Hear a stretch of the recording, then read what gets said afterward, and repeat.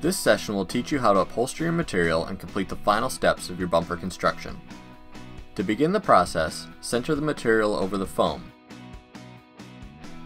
When it is in place, insert a few straight pins to hold the pieces together while you continue to work. Now you can easily turn the part over. Pull the material tightly over the board and use your staple gun to secure it in place. Overlap the other side of the material and staple that as well.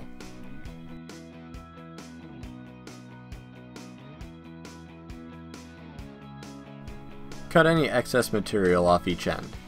You want about a 7 inch overhang on both sides. We suggest cutting a V shape out of the inside flap to get rid of some excess fabric.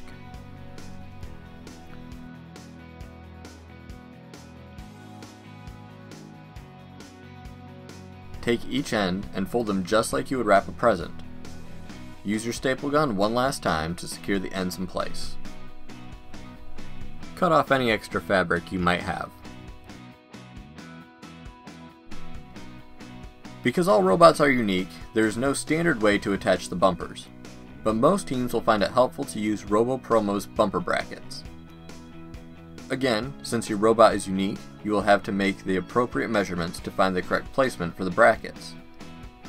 When you have found the correct placement, simply drill some pilot holes and use wood screws to fasten them to the bumper. Don't forget to remove the straight pins and you have completed the bumper construction.